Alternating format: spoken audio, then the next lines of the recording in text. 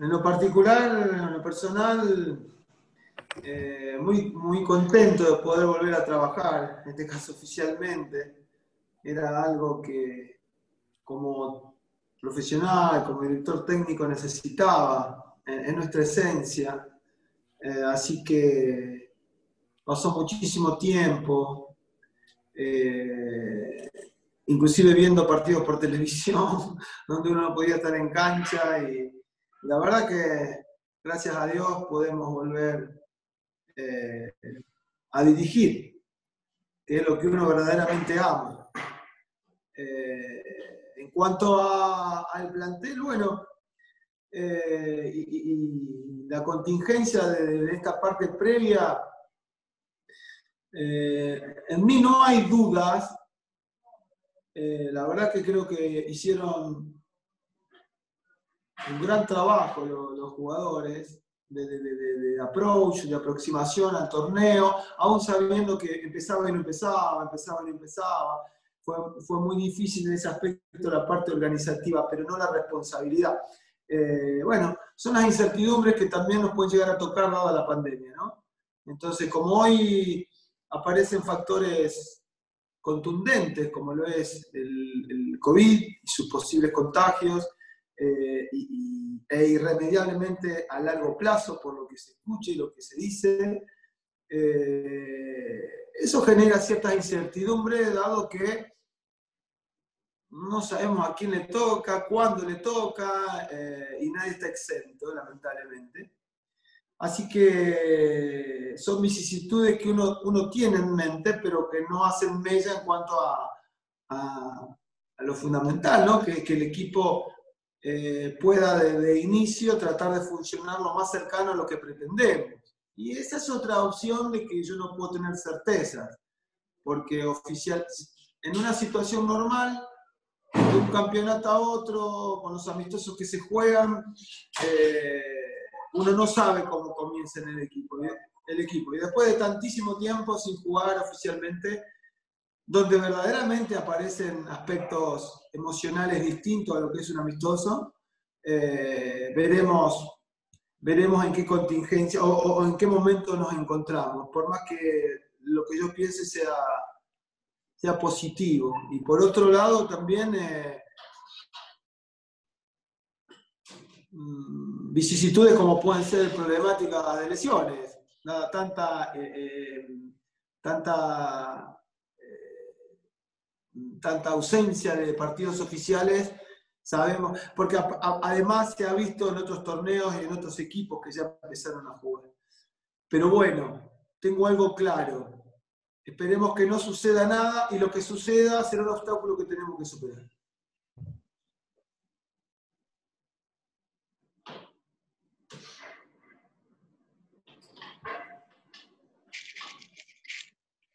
Terminé. Frank, ¿qué tal? Buen día, ¿cómo está? No lo veo. ¿Qué tal? Eh, no, no, no, por hoy no, no va a ser mutuo el placer de vernos. Eh, pero sería bueno vernos la cara. Sí, estaría bueno, lo, entiendo, pero hoy no, no podrá hacer. Eh, bien, le, quiero consultar en línea con lo que hablaba con el colega, de que ya tiene el equipo en su cabeza, bueno, eh, daba la apariencia hace bastante que esto era así, que ya tenía el equipo diagramado eh, el ideal para vos. Eh, te quiero consultar si crees que esto se va a notar en el corto plazo, dado que es un torneo que, bueno, exige resultados rápidos, ¿no? Si no te va bien tempranamente, estás en problemas. No sé si están así, veremos, veremos cómo se desarrolla el campeonato para todos por igual. Eh, pero puede ser que sea así como usted eh, aduce. Eh, bueno, dentro de, las adversidades que ya hablamos anteriormente, hay algo que ha sido bueno para mí y, para todos, que es que no tuvimos que armar un equipo de nuevo prácticamente conservamos la misma base. Eso se ha visto en los amistosos, porque es muy distinto a un equipo que tiene que armarse de nuevo y más en estas vicisitudes, a otro que, tenga la posibilidad de sostener eh, en su gran mayoría los jugadores del campeonato anterior, por más que haya casi un año ya que, no estamos en cancha.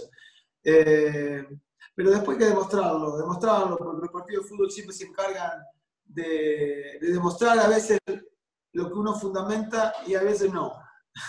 Así que como idea previa, eh, el hecho de sostener eh, un alto porcentaje de jugadores que ya, no, ya dirigimos y estuvieron, estuvimos juntos, eh, más algunas incorporaciones importantes que hemos tenido, bueno, da cierto sostén que, vuelvo a repetir, tenemos que, que ponerlo en cancha a partir del viernes.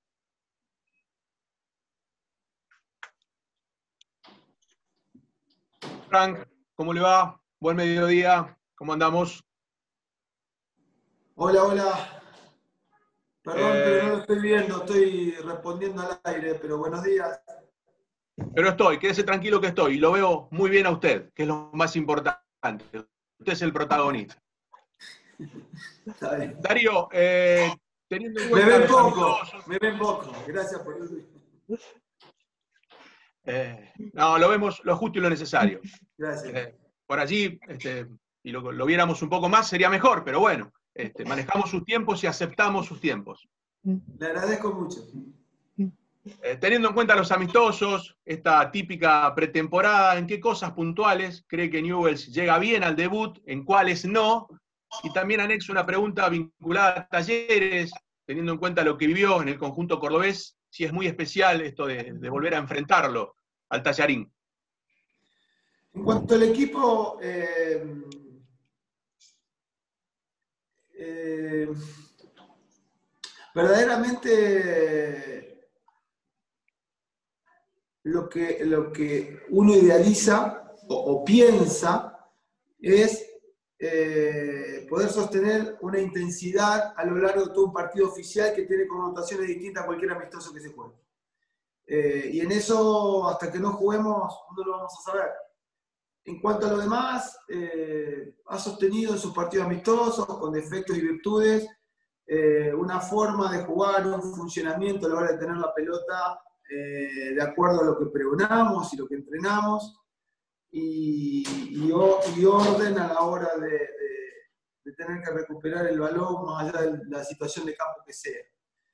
Pero lo que no sé responder en este momento es, eh, y no porque crea que no, simplemente porque necesito estar en partido para verlo, es el grado de intensidad del juego que solamente dan los partidos, la cantidad de partidos eh, y, y, verdaderamente los partidos oficiales, ¿no? Así que en ese sentido no lo veo como una duda de mi parte o algo o un déficit, pero sí necesito comprobarlo. Eh, y en cuanto a talleres, mire, la profesión te lleva por un montón de lados, gracias a Dios.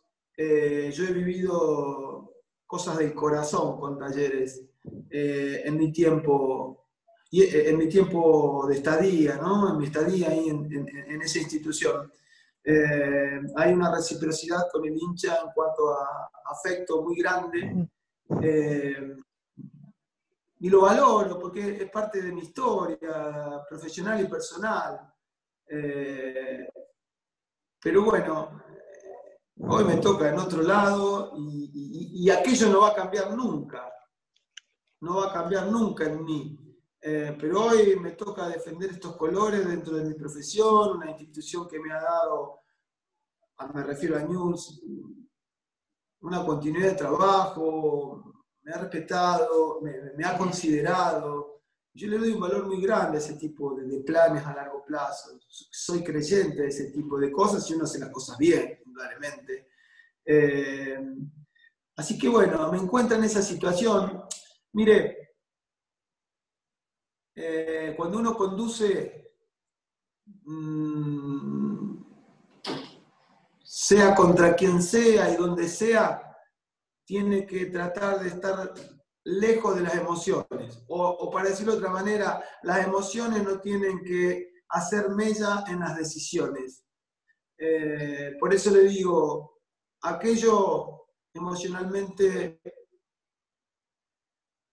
es algo hermoso que mantendré por toda mi vida, pero hoy mi decisión es que mi equipo funcione y gane, y, a eso me tengo que atener, a, tener, y, para defender con, el prestigio que tiene esta institución, News Old Boys, y estar a la altura de ellos, ¿no? Como ya lo he dicho el campeonato pasado. Es una circunstancia que me toca dentro de mi profesión y a la cual uno no puede negarse ni, aceptarla, se da así. Y, bueno, bienvenido, porque, porque, porque es trabajo, porque estoy donde quiero estar, que es siendo técnico de fútbol. Valoro todo ese tipo de cosas muy importantes para, para vivir mi profesión con alegría. Vamos con Canal 3 ahora. Sí, eh, Fran Tesandori de Canal 3 de 12 a 14, lo saluda, ¿cómo está? ¿Cómo le va? Un gusto. Bien, encantado. Fran, lo estoy escuchando atentamente con respecto a esta exposición que hace en un campeonato que para mí está medio desangelado, es decir, no hay, no hay gente en las canchas, es tan difícil, es un modelo totalmente distinto, no, no hablemos que es una competencia por grupos que se asemeja a copas internacionales y no un campeonato eh, local. Entonces el, técnico como usted o como todos se, se ha tenido que preparar especialmente para esto, pero a ver si usted me da, me da la realidad o la, aceptación de lo que le estoy planteando. Me parece que dentro de los planteles, Newell's ha tenido la suerte, entre comillas, y el trabajo, de quedar con una base estable del campeonato pasado. Y eso es una, en el arranque, para mí, es una ventaja que ustedes tienen. ¿Lo considera así? ¿Estoy equivocado en el planteo? ¿Piensa que puede ser cualquier cosa o me da la razón? No, lo dije anteriormente, lo considero así. Eso nosotros tenemos que usufructuarlo como, no solo como una virtud, sino como algo potencial. Eh, lo considero de esa manera. Después, los partidos de fútbol a veces eh, transitan por otros caminos, pero, mm, y se lo voy a decir algo más, como técnico, como técnico, eh, nos da la posibilidad de seguir trabajando con gente que ya conocemos, corrigiendo defectos, aumentando virtudes, y, ya con un tiempo muy ganancioso que es lo comunicacional, e insisto, eh, el, conocimiento mutuo que uno tiene que tener con el jugador. Así que lo veo como algo que, nos tiene que dar respaldo, ni que hablar con los jugadores de jerarquía que, tenemos y que pueden desarrollar eh, cosas o, superar defectos que pueda llegar a tener el andamiaje del equipo. Eh, pero bueno, eso hay que demostrarlo. No obstante, eh, lo considero como un respaldo, adhiriendo a lo que usted dice, pero siempre entendiendo que después en cancha, contra quien sea y donde sea, hay que demostrarlo, ¿no? Eh, pero esperemos saber usufructuar ese hándicap que tenemos de, de conocimiento de mucho tiempo esta parte. Darío, ¿cómo le va? Buen mediodía.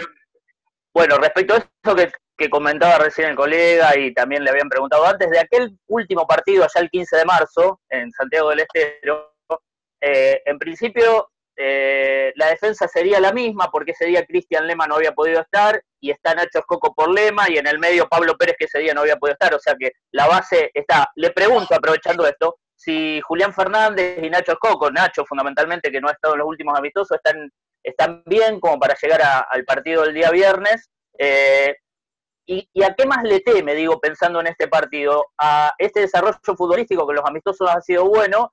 ¿O esta cuestión del COVID y toda esa incertidumbre que usted no puede manejar ni nadie, ¿no? Eh, la previa de los partidos. Vamos a hacerlo más simple. El equipo va a ser ese está bien, nos falta un entrenamiento mañana y, un viaje. Pero no me voy a esconder en eso, no me voy a esconder en el COVID, que si nos pasa algo, nos puede pasar a cualquiera de nosotros yendo al supermercado. Entonces, ante tanta incertidumbre, en el amplio sentido socialmente hablando, no solo en el fútbol, eh, cuando uno puede dar certezas hay que darla, y yo se la estoy dando, ese va a ser el equipo. Eh, esperemos sin ninguna vicisitud posterior a, esta, afirmación. Eh, después, en cuanto a, temer, mire, la verdad, eh, ya transitando tanto tiempo, no sé si tanto, pero, pero, creo que ya hace muchísimos meses que estamos conviviendo con esta, con esta pandemia, eh, hace varios meses esta parte que me tomé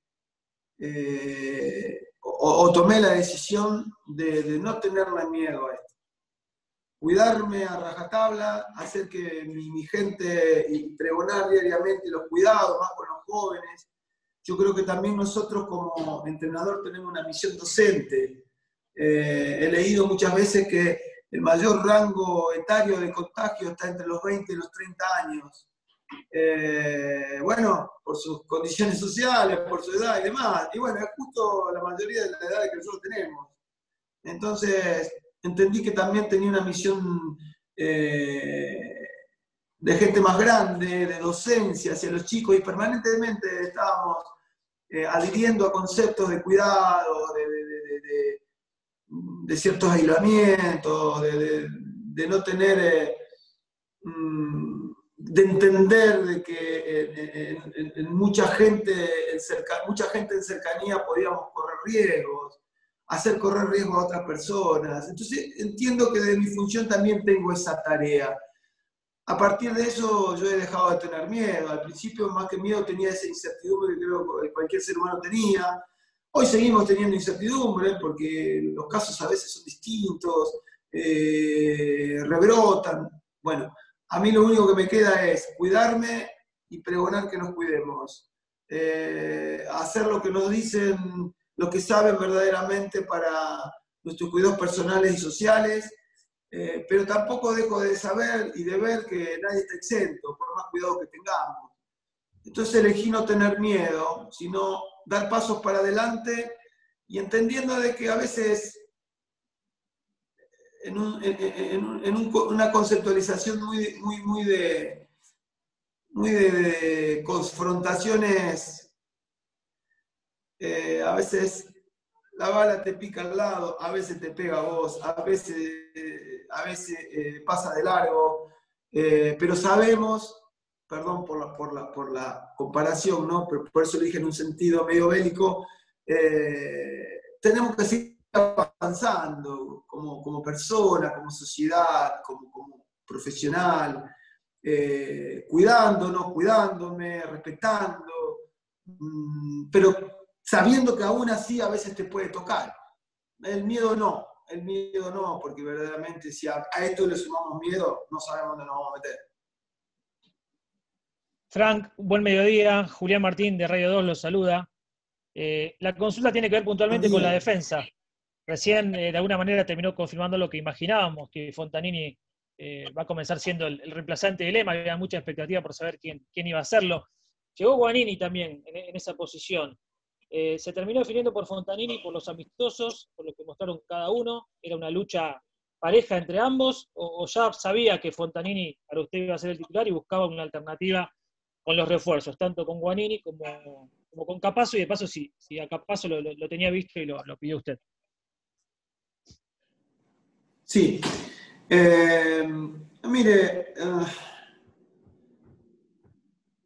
para pasar en limpio, ambos jugadores los trajimos como jugadores de expectativa futura y no, no como un nombre, como nombres inmediatos para reemplazar, en este caso, a Cristian Lema. Eh, yo he sido siempre muy claro, a lo mejor no en exposición pública porque prácticamente no estoy en eso, pero, pero mi idea siempre fue muy, muy clara, es la que le estoy diciendo. Entendemos que son dos jugadores que pueden tener un futuro importante, pero estoy hablando de futuro. Y, después, eh, no pedirle al club lo que el club económicamente no podía traer. O sea, esto, esto es muy claro. A Cristian era imposible pagarlo ni siquiera un club argentino lo pudo pagar, tuvo que irse al exterior. Y otras expectativas en cuanto a jugadores de mayor experiencia y jerarquía, tal vez en el presente, eh, con contrataciones onerosas, nosotros no podíamos hacer.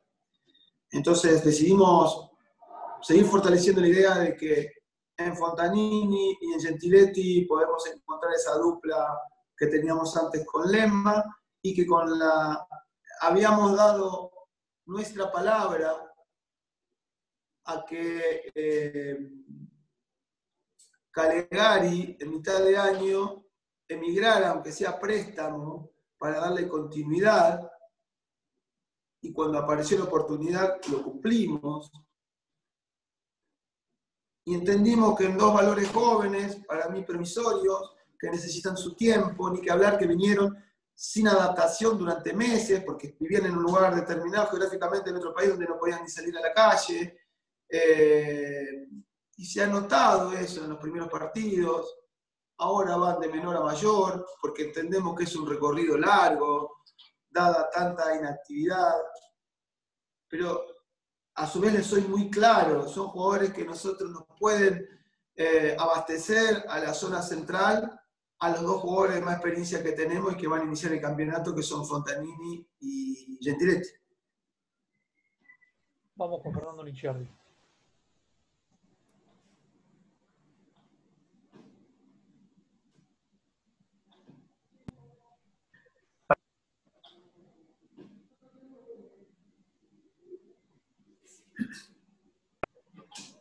No es tan fácil esto, ¿eh? Ahí estamos. ¿Cómo le va? Buen mediodía, ¿qué dice? ¿Cómo le va? Un gusto. Un placer, un placer. Gracias por el rato. Eh, hablaba de la experiencia usted. Eh, Maxi sin duda es uno de los emblemas y, y, hablar de una posición fija en el terreno de juego de Maxi no vale la pena porque sabemos la polifuncionalidad que le permite el jugador y, y, y lo que ha visto en Newell. Pero con la llegada de Nacho, con, la presencia y la contundencia de, de, de, Sebastián Palacios en los últimos amistosos y conociéndolo también a él, ¿dónde lo piensa de, ingreso? ¿Cuál es el pedido puntual para Maxi en este comienzo del campeonato?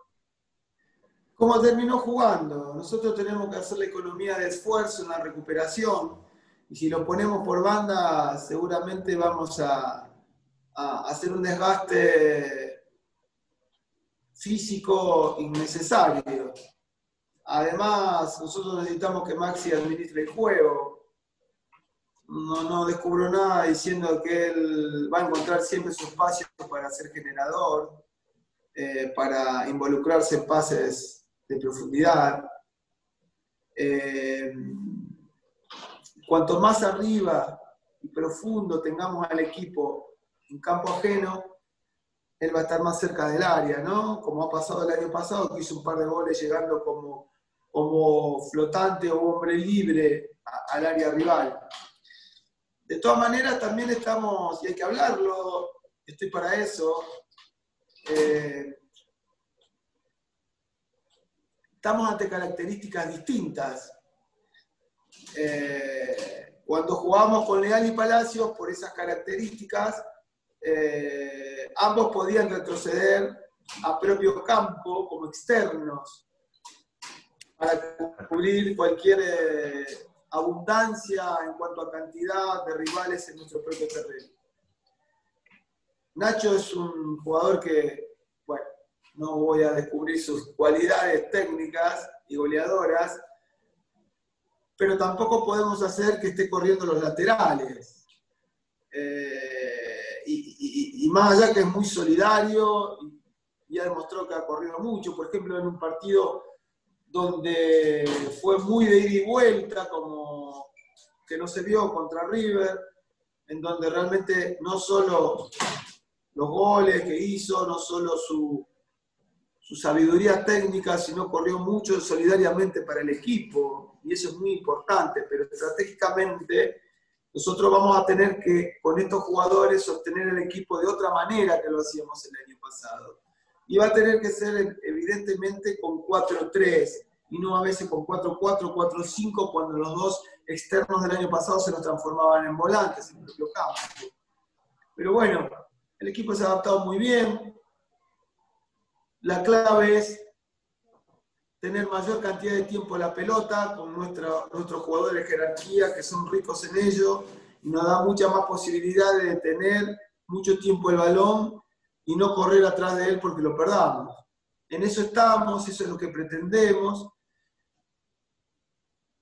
Y a su vez, eh, eh, doblar permanentemente la zona de ataque con nuestros laterales en ataque justamente, y nuestros volantes interiores en zona bien profunda ¿no? del área rival.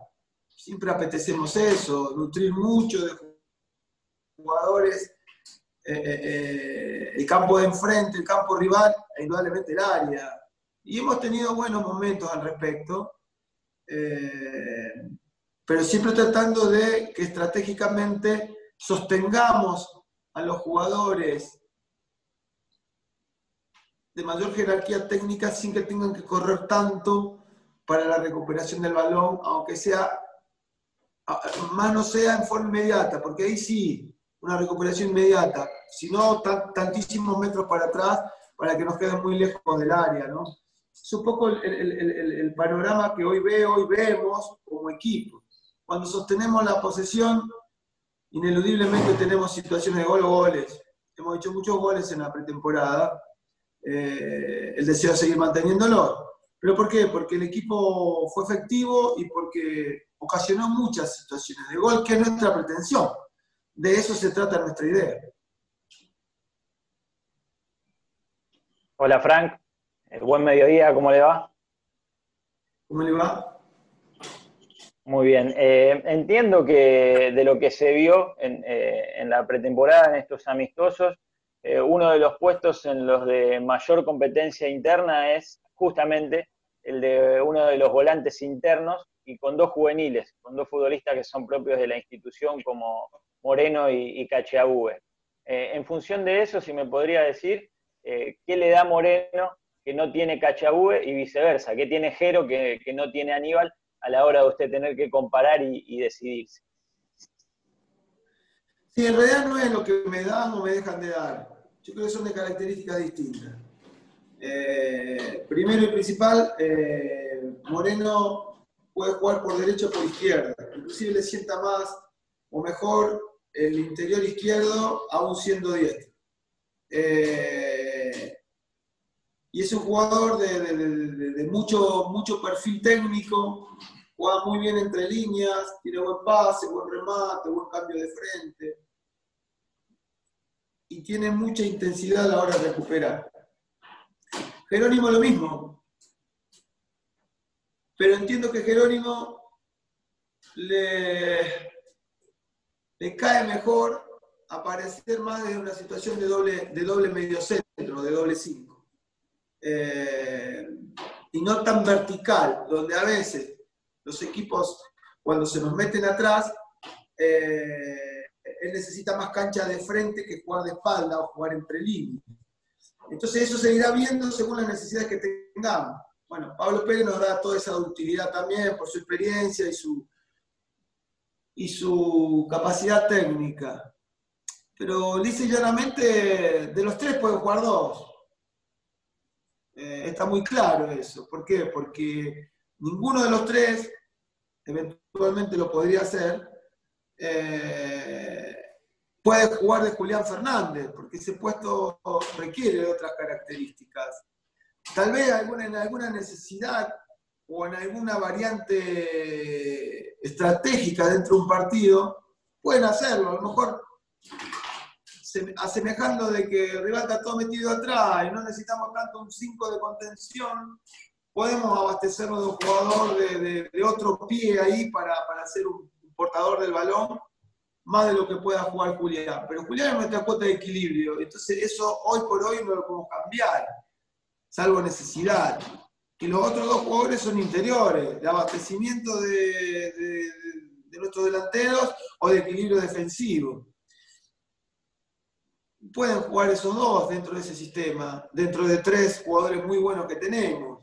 Pero también está, hay chicos como Castro, Esforza, que bueno, viene una lesión. La recuperación cuando lo logre de Mauro Formica.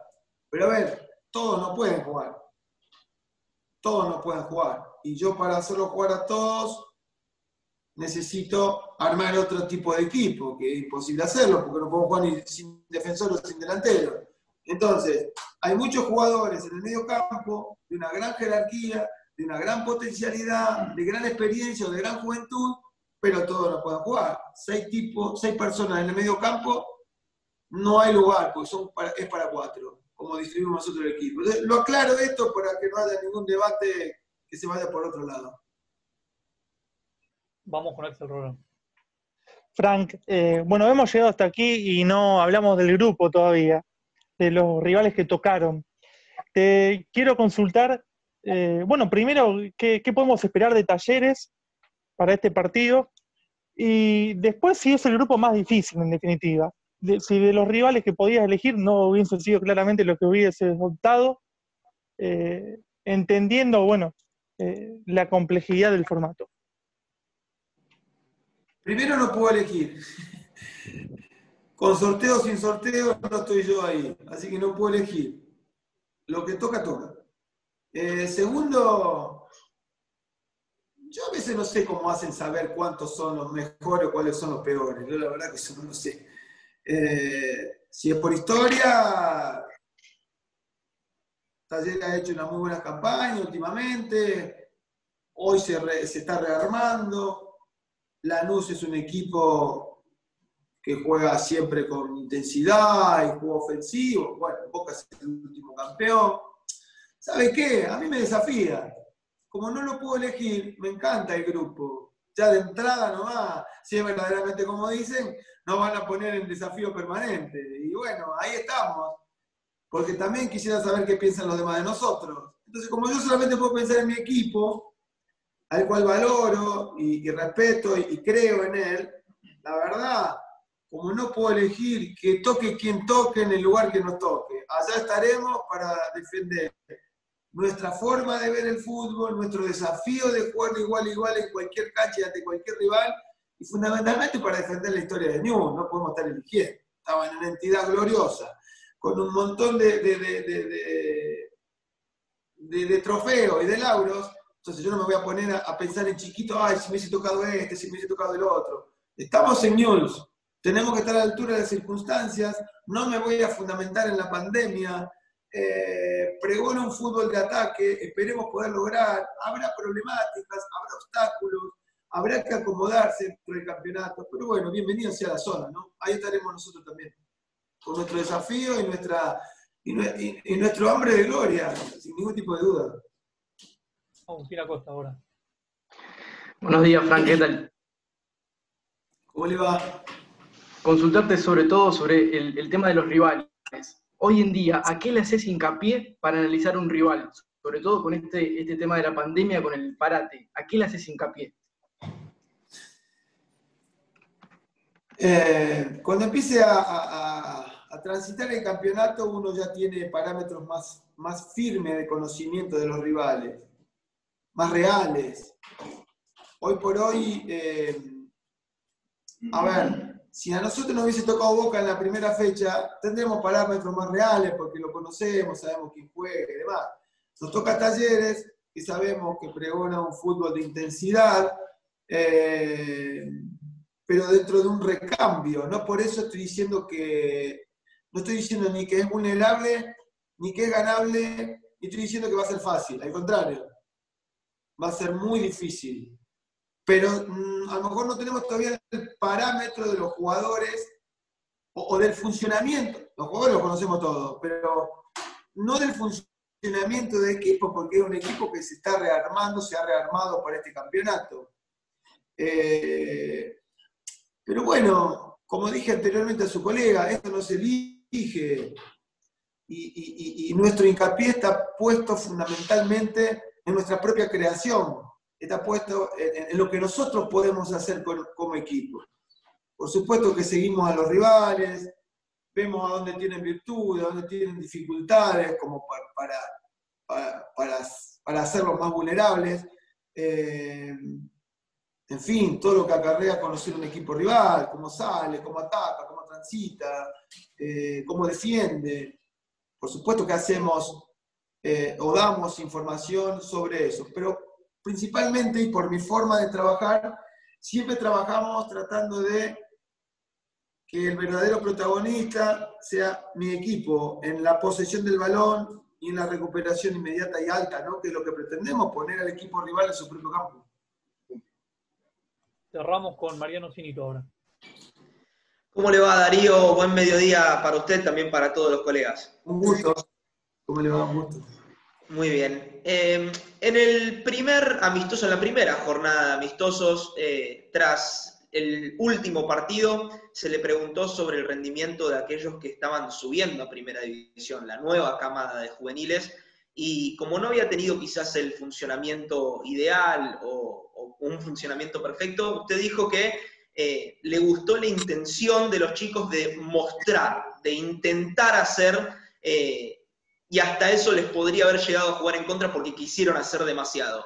Eh, ¿Notó usted un progreso a lo largo de estos partidos de pretemporada de parte de esos chicos que pueden llegar a tener chances en primera división? Y como segunda parte de esa pregunta, eh, ¿qué chicos, si es que alguno le ha llamado la atención eh, más que los demás, cree que está ya listos para, ocupar este rol, ¿no? De pasar a la primera división desde las inferiores? Dadas las contingencias donde hoy no podemos prever solamente una posible lesión o una posible sanción de expulsión, por decirlo de alguna manera, porque hoy, hoy, hay otras vicisitudes. Nosotros tenemos, por ejemplo, Alexis Rodríguez con COVID. Entonces, como no sabemos a quién nos toca y cuándo, tenemos que preparar y a los chicos les decimos que tal vez, esperemos que no, esperemos que no, no porque no se lo merezcan, esperemos que no porque uno lo que quiere es que maduren en tiempo y forma. Pero tratamos de prepararnos para que en el momento que les toque, si es que les toca, estén de la mejor manera apoyados y respaldados. Eh, haciéndoles saber que, insisto, más allá de estas contingencias de pandemia, eh, están en un plantel de primera división, en donde tendrán que crecer aceleradamente, a pasos firmes, no pasos de canguro, largo, a, que dan cuatro o cinco de uno quedamos nosotros, pero sí a pasos firmes, seguros, que saben que los estamos apoyando, que queremos en ellos, pero que están en la primera división de News Old Boys, donde por historia se ha abastecido casi permanentemente de sus propias raíces. Entonces hay que hacer culto de eso. Ellos tienen que saber que están ante esa oportunidad. Ellos tienen que saber en qué institución están. Ellos tienen que saber que tienen que tener ese sentido de, de pertenencia sería muy amplio, pero ese sentido de eh, eh, defender un estilo, una historia. Y no ser ave de paso. Mire, como técnico he visto tantos jugadores que pintaban para grandes cosas y después no terminan ni jugando al fútbol o perdiéndose por ahí. Entonces tratamos de abastecerlos y educarlos también al respecto. Esa misma franja etaria de la cual hablábamos anteriormente por otra cosa también tiene que ver con esto, y quizá un poco más, más chicos también. En cuanto a, dar nombres, yo soy un, po, un poco reticente a dar nombres. ¿Sabe por qué? Porque a veces dar un nombre hoy se transforma todo tan mediático que los puede confundir a los chicos. Entonces, por lo menos de lo que a mí me representa, no es que no sea de elogio fácil. Soy de mucha exigencia para con ellos, pero trato de prepararlo de la mejor manera posible, porque son potestad del club. Yo no sé si voy a, recibir esas dádivas, pero sí en mi momento de tránsito dentro de la institución, yo tengo que fortalecer eso, además de que el primer equipo juegue bien y gane. ¿Por qué? Porque no solo es la esencia de la institución que me contrató, sino que es mi propia esencia, mi propia forma de ver eh, una organización de trabajo profesional dentro del fútbol. Veo muchos jugadores con mucha capacidad. Esperemos que entre todos hagamos que sea el futuro no tan lejano de Old Boys, porque le va a servir en un montón de aspectos, no solo el futbolístico. Bueno, cerramos nomás. Muchas gracias, Frank, por el tiempo, la predisposición y muchas gracias a todos los colegas que se sumaron. Oh, yo le agradezco, le agradezco eh, que estén acá con nosotros. Sé, sé que también que para ustedes no es fácil, dadas las condiciones. No estoy tan al tanto, pero sé que también puede haber alguna problemática para todos ustedes de asistencia a los estadios y demás. Eh, lamentablemente esto atenta con el trabajo de todos. Eh, y ustedes son, son parte, parte de todo esto, porque verdaderamente son, en el buen sentido, una pata del fútbol, porque son los que transmiten, los que opinan, los que, los que dirimen, los que debaten, los que pueden estar de acuerdo o no, pero bueno, de esto se trata. El fútbol no lo hace uno solo, el fútbol lo hacemos todos. Entonces, en este, en este sentido, eh, si yo cuando me preguntaron, me hicieron la primera pregunta, me siento con la alegría de poder trabajar después de tantísimo tiempo, porque es lo que amo, ser técnico de fútbol, también adhiero y, solidarizo tal vez eh, la imposibilidad, o me solidarizo en la imposibilidad que tal vez muchos de ustedes tengan para no estar donde seguramente quieren estar por trabajo, por deseo y por gusto, ¿no? Así que bueno, estamos todos en eso y creo que saldremos, saldremos seguramente, no solo con la vacuna, sino también con responsabilidad. Ojalá que así sea nomás. Cerramos. Muchas gracias, Frank. Abrazo y, abrazo y lo mejor para todos en esta etapa de campeonato.